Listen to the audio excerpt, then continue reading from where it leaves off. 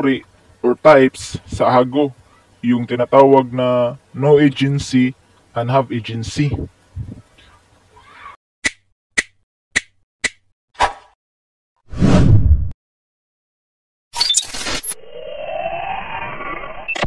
Hello guys, welcome back to my channel. For today's video, we will have a simple tutorial about this application. Dahil madami pong nalibugan or nalilito tungkol sa hago. At may iba din nga ayaw na lang ituloy laruin ang hago dahil hindi alam paano mag-withdraw at paano makabins at may dalawa dalawang uri or types sa hago. Yung tinatawag na no agency and have agency yung no agency at makikita nyo dito sa left side left side ito no agency ang kaibahan naman sa have agency o mayroong agency ay may withdraw yung agency nga nakalagay. At kapag ma-accumulate nila ang 480k super beans, ay maka-withdraw na sila agad-agad direct to PayPal. At dito naman so, sa no agency ay walang nakalagay. Kaya yung mga iba nga naglalaro sa agents uh, sa Hago ay hindi na lang ituloy dahil wala silang agency at hindi para sa kanila ay hindi na sila maka-withdraw. At dito nga video ay gusto kong ituro sa mga naglalaro sa Hago na walang agency. Katulad ko, wala akong agency dahil sa Hago ay na ang hiligan ko sa Hago ay maglaro lang. Pero kahit maglaro kayo sa Hago, maka-earn kayo ng beans. Kaya naisipan ko nga gumawa ng simple tutorial na tungkol sa hago para makatulong din sa mga nalilito tungkol sa hago. Kaya simula na po natin. Uh, Unang-una, sa Hago, may grupo ako sa Hago or ako po yung admin doon at ang tawag doon sa group ay Hago Invitation Code. Kaya doon, naisipan ko nga mag-post ako dahil may balance po ako doon sa Hago na remaining balance na beans ay 283.55 thousand at ang equivalent niya ay 11.81 dollar. So, dahil wala akong agency, gusto ko sanang i-withdraw ito, ngunit wala akong agency. Kaya, ang ginawa ko ay nag-post ako doon sa Hago nga group at sabi ko doon uh, dito sino ah, sino active pa sa Hago diyan. Gusto ko sana i-trade tong remaining balance. Ah, nawala na kasi yung withdrawal ko dahil wala akong agency. I-trade ko na lang. Kasi dati po, kahit wala kang agency, maka-withdraw ka. Kaya sa bagong update sa Hago, ngayon ay hindi ka na maka-withdraw kung walang agency. Kaya ang ginawa ko lang, nag-post ako, baka sakali nga ma-withdraw ko ito. Kaya meron namang nag-PM sa akin, uh, direct kaya ito po yung conversation po namin. Ito.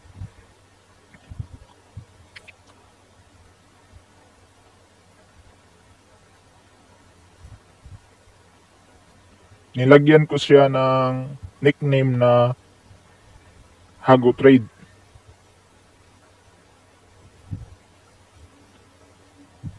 Nilagyan ko siya ng nickname na Hago Trade para mabilis ko siyang mahanap.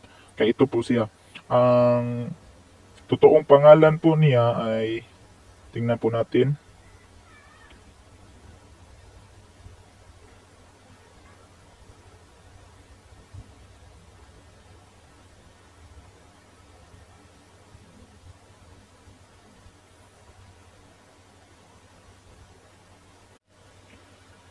Punta tayo sa nicknames.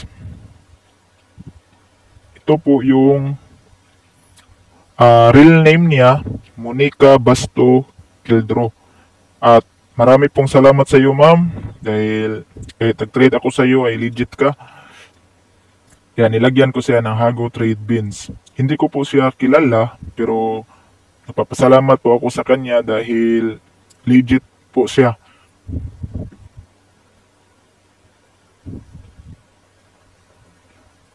Kaya ito po yung mga conversation po namin.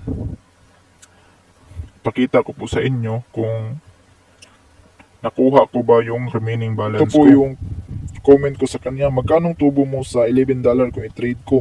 Gusto ko kasi makuha yung balance ko. Sabi niya, ano pong agency nyo? Sabi ko, wala. At gusto niya dito, ibaba yung number ko para ma convert ko sa diamond yung beans. Dahil yung beans ko ay 283 plus at kailangan convert ito sa diamond.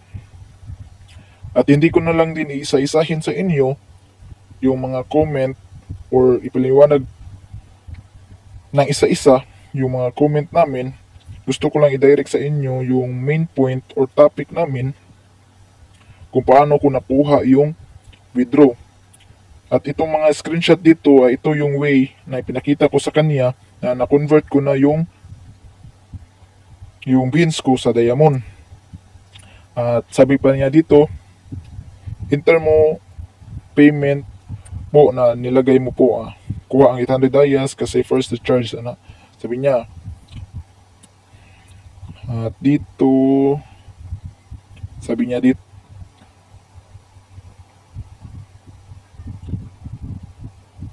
So sabi ko dito, 500 na lang po ah. Tapos mag-ipon pa ako ng mga beans para dito ko na i-din i-trade sa iyo. Gamer lang kasi ako hag, sa hago ana. I mean ko, I mean ko okay lang ba 500 tapos 700 beans. Hmm. Ah, sabi niya yes po pero okay lang po ba sir nga bagsak first before bayad. Gusto niya nga mauna daw ako bago ang bayad. At naniniwala naman ako sa kanya. Ah, dito may comment ako na para sa sunod na makaipon na naman ako, ganyan beans, i-drop ko sa iyo. Ana, wow, ana sabi niya.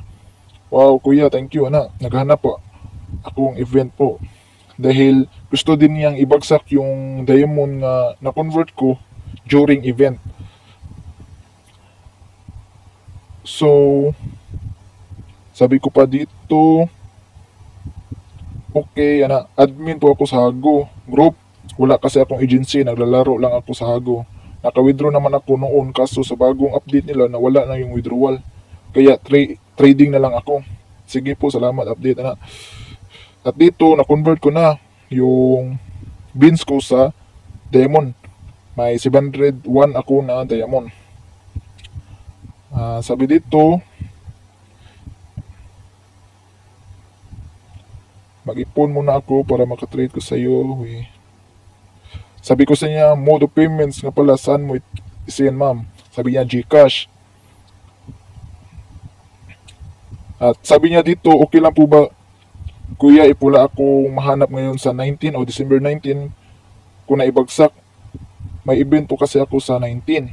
If ever lang nawala po ngayon, ano, sabi niya, so, sabi ko naman, sige po, kung may event po ba, malaki din ba makukuha mo?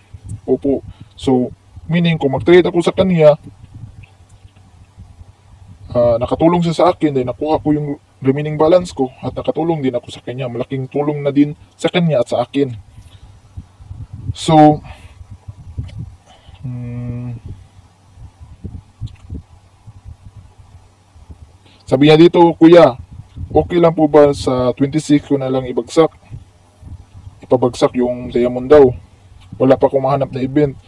Promise legit naman po ako eh. If okay lang, 26 or 23. Sabi ko okay lang.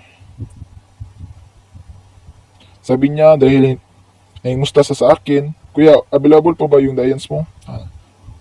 Sabi ko sa niya, Opo, still available pa. So dito, gusto niya i-trade na. Sabi niya dito, okay lang po ba mamayang 7 to 8 p.m. Maasahan ko pa ba? Ah, opo, kailan din kayo mag-send po ma'am? After event po. So, isend niya pagkatapos ng event yung pira niya. Ay, pira niya para sa punta sa akin. So, pagkatapos dito, pinakita niya dito nga may laman yung Gcash niya nga 500. So, dito naman sa bandang baba,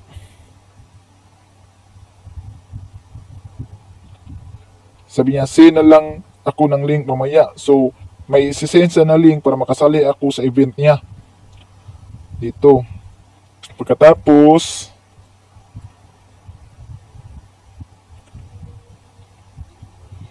tinuruan niya ako dito kung saan, kung anong logo or ano yung name niya na para hindi magkamali yung bagsak yung diamond.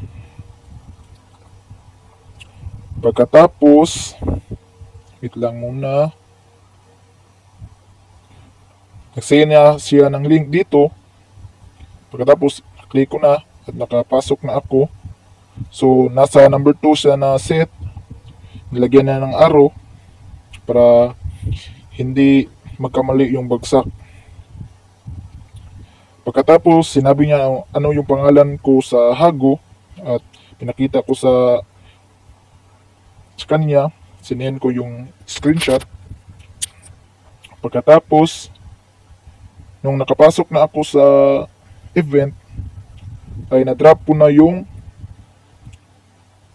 ay unti-unti kong din-drop yung diamond sa kanya.